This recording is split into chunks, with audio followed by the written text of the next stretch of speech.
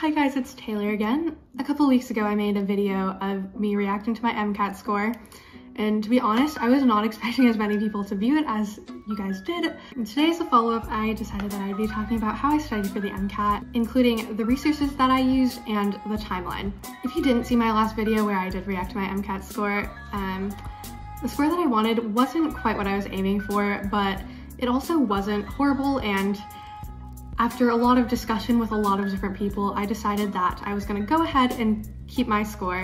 I think I was a little bit disappointed when I saw it, but I think thinking about it now, I am very proud that I was able to do that um, while being a full-time student. I know lots of full-time students study and get much higher scores than I did, but I still feel like for me and the amount of mental energy that I had at the end of the day that this was um, great and I feel like the rest of my application is great. So for all the people who wanted to know if I was planning to retake it or if I was planning to continue, I am planning to continue. So if you are interested in seeing what I did, keep watching. For the resources, I'll just list them out in no particular order. I did the AAMC MCAT prep material, Kaplan 2021-2022 MCAT books and online portal, Khan Academy, Jack Westin, CARS passages, Blueprint, diagnostic exam, full length one, and the flashcards. I had a spreadsheet and notebook to keep track of all my progress, MCAT podcast by Dr. Ray, my favorite, and classes obviously from undergrad. So in total, I spent about this much. I'll put it somewhere on the screen. Um, the MCAT is definitely very pricey and that was one of my main concerns. Reflecting on it now, I think I definitely could have spent a little bit more to maybe have a little bit more practice material, but I feel like I did a pretty good job of not spending a whole lot on it. All right, so that was everything that I used, um, but now I'm gonna go into how I used it because I definitely used some more than others and some I barely touched. So timeline. So the original plan was actually very different from what I ended up doing after I started studying. And by the time I had gotten the rhythm, I'd already wasted so much time trying different resources that I ended up not liking and ended up getting rid of entirely.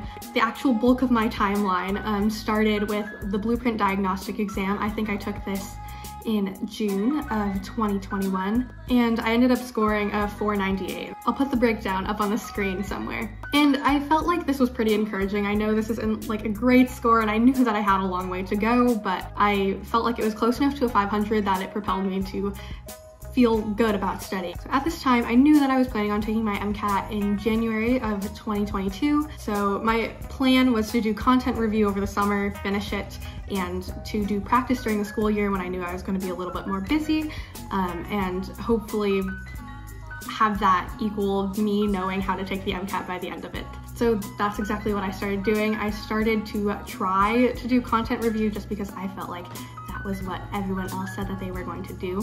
And I tried out a couple different things and I think the thing that stuck best for my content review phase was to do Kaplan chapters from the books. I would read a chapter, take detailed notes on it, and then I would continually do that.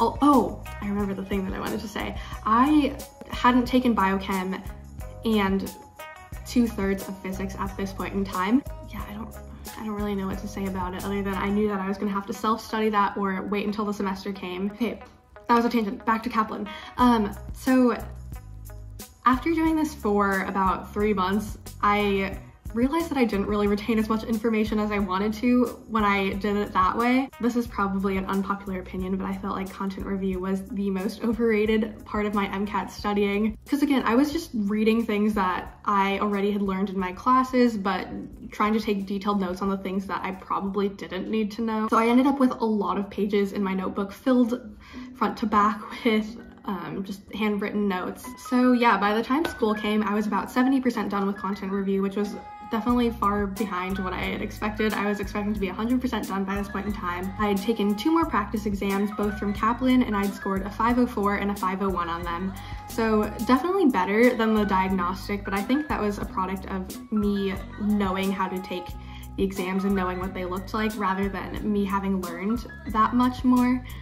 Um, and I still had a long way to go. I was not settling for a 504. But to be honest, once school um, started back up, my studying slowed down a lot, like embarrassingly a lot. I was taking biochem, physics, um, a molecular biology class that I was having a really hard time with, and a classics class, which I thought was gonna be easy, but it actually wasn't. So I had a lot on my plate and I didn't get to do as much studying as I wanted to, and so really I did not end up doing the other 30% of my content review. A month or two went by like this and I was starting to panic because my MCAT was coming up and I hadn't really made any progress.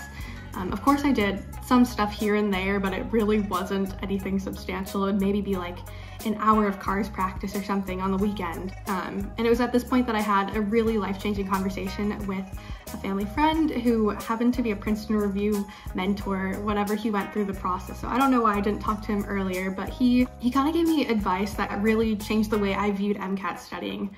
Before that, I felt that MCAT studying had to be very structured, um, content review, and then um, practice and then you take the MCAT, but he said that given the fact that I was a student, I probably wasn't getting as much out of content review as I thought that I was, and it would be more beneficial if I started focusing on practice. And so that's exactly what I did. It was at this point that I took the first full length on Blueprint and I reviewed it using the MCAT podcast by Dr. Ryan Gray that went through every single question with thought processes behind it. And this really helped. I know it was just one test, but it really gave me a perspective on how test writers write their questions and how they expect you to answer them. Because to be honest, I didn't review any of the practice exams I'd taken over the summer from Kaplan.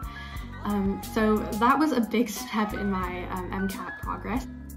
I wanted to add that this is how I reviewed my full-length exams. Um, I would go through question by question and if I got it right and I understood, then I would mark it as correct and understand just to kind of give me motivation when I looked at the page and saw how many I would get like correct.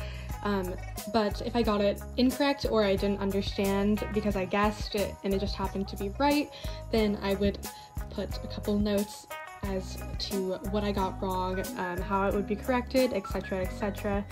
Um, and yeah, I pretty much filled up the book like that. After doing that practice exam, I realized that I was too scared to do practice before I finished my content review because I thought that that was really, really important. But again, I learned most of the content in my classes, so that really wasn't necessary. And also, the content that you need to know for the MCAT is not super in-depth. So I was focusing on all the wrong things. I was trying to memorize details when that wasn't what was needed of me. I needed to hammer down the basic concepts of each topic and move on. Embarrassingly enough, um, which I feel like is this whole video, but um, I haven't purchased the double AMC content until this point. This is probably like October, November. So I went ahead and did that. I began doing the section banks and all of like the practice problems that weren't the full length exams off of the double AMC stuff. Very, very soon after was finals. So again, there was a halt in my MCAT studying and I had to focus for two weeks or so on just my finals. Come winter break, this is when I packed in 10 hours a day, um, what you typically see of people who study for the MCAT. And my winter break was only two weeks long, so I knew that this was going to be the biggest study period that I was gonna have. During these 10 hours, I made my way through a good amount of the double AM AAMC material. I didn't actually end up finishing it, weirdly enough. And then I did two double AMC full lengths, which I will also put the results of on the screen, one per week.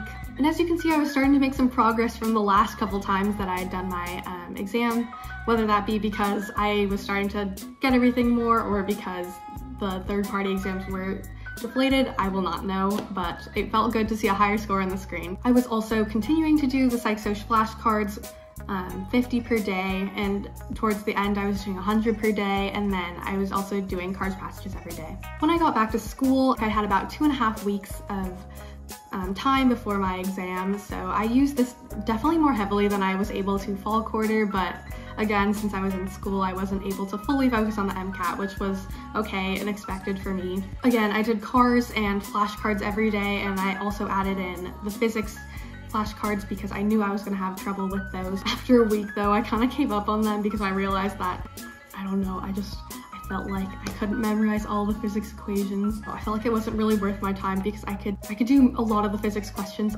either off of intuition or off of a few select equations or off of um, unit conversions.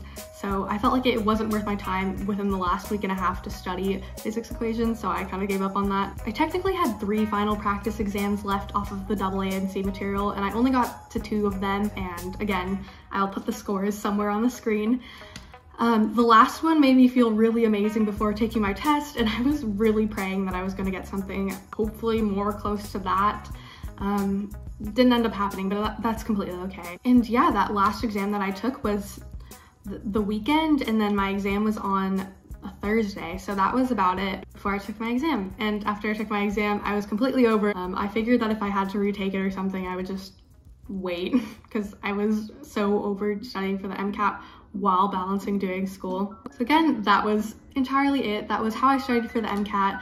I know it definitely was not the most robust study schedule and also please do not take this as uh, what you should do because I did not clearly end up with the score that I wanted, but just take it as a representation of how much time and how many resources I used equated to the score that I got. Yeah, if you like this video, please make sure to like and subscribe. Bye!